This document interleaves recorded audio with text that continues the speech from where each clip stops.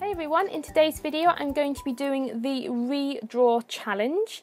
And as you know this isn't really a challenge, I don't know quite why it's called the redraw challenge. It's more of a drawing exercise. It's where you take an old piece of artwork that you've done six months ago, a year ago, three years ago, ten years ago, you know, a piece of artwork that, you've done in the past and you redraw it again using the skills that you have now and that way you can compare the two pieces and you can see how you've improved and how you might want to improve further. So it's a really useful and fun exercise and I thought it would make a good video today. The piece that I'm redrawing today is my very first character design.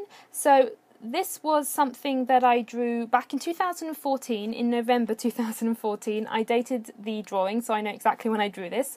And it was the very first original character design, or OC, that I drew. Her name was Thea, and before then I had drawn people, but I'd only really ever drawn um, fan art.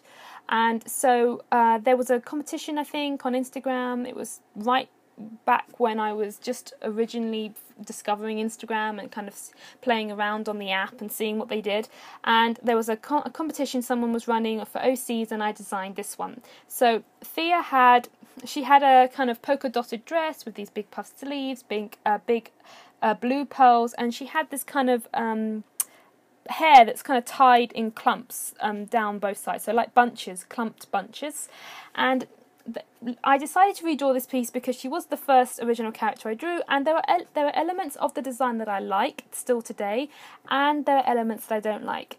Um, the elements that I like are the hair, the hair design, and the kind of the costume design. Um, I quite like the puff sleeves, and I do quite like how I'd done the hair.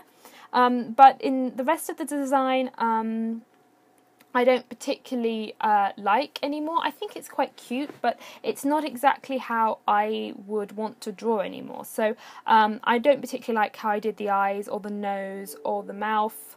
Um, I don't particularly like the colours that I chose either. I, I think I could have chosen colours that went much better together.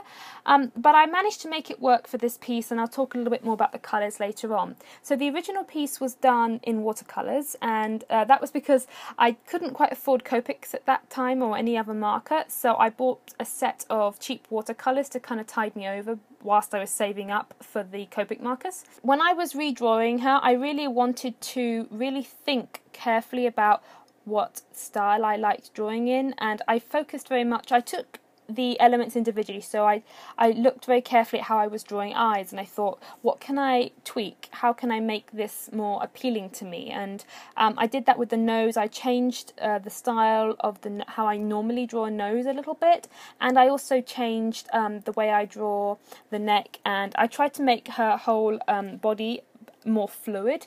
Um, it's a, I've been experimenting with this quite a bit recently in my sketchbook. Um, it's a little bit difficult to show you with this particular piece because it's only the it's only it's like it's only the top half of her body, and it, it um, it's a little easier to show when you start drawing hands and arms and things. But I've been kind of pushing my uh, pushing the style that I draw in more and more recently, and I think the biggest thing that I was working with this piece was the hair. I was trying to make my hair less clumpy. Sometimes I feel like with the original one, one of the things that I knew I wanted to change right away was the hair. I felt like the hair was just too clumpy. That's how I used to draw hair. And so with this one, I tried to make it um, more fine, more flowy, and I really like how the new one turned out.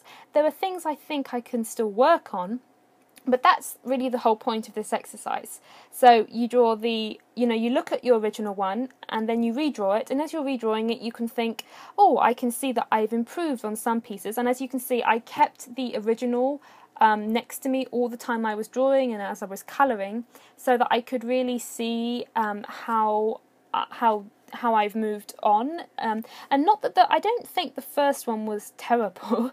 Um, as I said, I think it is quite cute and it's not terrible at all, but it's not what I would want to draw now. And I also really like the composition of the new one. So in the in the original one, it kind of just cuts off. Um, there's no real composition. I haven't really thought about the design elements exactly. There's no background, and her arms and her her kind of top half just completely cut off into thin air.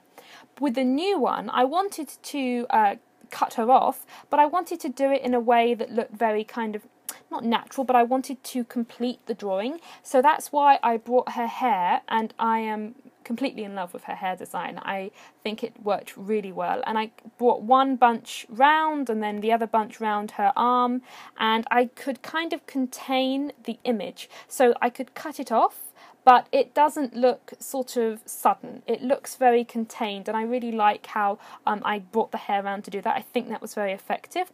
And I also I gave her a simple background, and I kept the vintage style colour scheme because when it came to doing the colours, I had a bright green, a bright reddy pink, and a bright blue and a purple and I decided to tone down the green. So instead of going for like the forest green Copic marker, I went for pea green and some of the um, yellow greens, uh, just to mute down the colours so that they would work better together and that's just a basic thing that I do often if I have a colour scheme that the colours are very bright and very contrasty sometimes the best way to make them all meld together is just to mute them down a bit, um, and that way they they're not each overpowering each other. And I think that worked quite well. And because the color scheme was kind of turning out quite vintagey, I decided to do the background. And when I get to the background bit later on, I used um, putty, which is one of my favorite Copic markers. Uh, I did a whole video on my favourite Copic marker colours, and that was one of them. And it just kind of went with the vintage theme because she's wearing puff sleeves, she's got pearls on, she's got ribbons in her hair, she definitely has a vintagey vibe. Um, so that's where I went with the colours. And as I look at them side by side, I can see things that I, I definitely like my style a lot better now. I definitely think, um, obviously, I think the colouring is probably the biggest area of improvement. Um, at least that's what I mean. There is the way that I've drawn it, the style of it, um, which I like better now. But as I said, the original one it wasn't it's just a matter of taste i think but i definitely think the colouring um, has improved a lot since then. And i really think the hair just um, i can see a lot of improvement in, in different places. Um, obviously there are things i think i can improve further on. When i'm looking at the piece i'm thinking about i want to define more and more the, the kind of the fluid anatomy that i want to develop. So um, i need to just keep practicing on that. And actually as i was colouring, you saw right at the beginning I did it in pencil, then I outlined it, then I rubbed out the pencil. But when I rubbed out the pencil, I kind of felt like her face had changed a little bit. Um, so I'm I I'm thinking maybe that I will try a piece and not rub out any of the pencil underneath, and that will give it lots of extra texture. But I think that might work quite well. So there's definitely a little bit more experimenting I want to do with just how I ink, and I do ink in a brown. Um, maybe a black would be more distinctive or more effective. I don't know. So there's sort of experiments that you can keep doing, and I can certainly see areas that I want to practice more.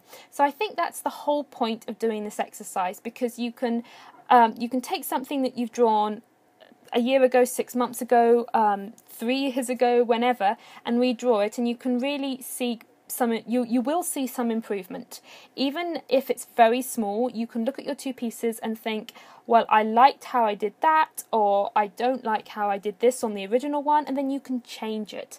And because you're sort of because you're already thinking critically about your work a little bit you're kind of in that mind that zone in your head um, I found that when I was drawing the new one I was thinking more and more about the marks that I was making. So you can kind of change your habits as you're drawing because you're already thinking critically at your work. You're already looking at both pieces or the piece you're drawing, and you're already thinking, "Oh, what can I improve on? How do I really like how I draw this?" So it's a very useful exercise, and um, I think I should be doing this more often. I think and uh, looking more critically at the drawings that I'm doing, uh, just to see see if I constantly find areas that I can improve on, because obviously that's how you improve and grow as an artist. So that's 2014 to 2017. They're my two pieces.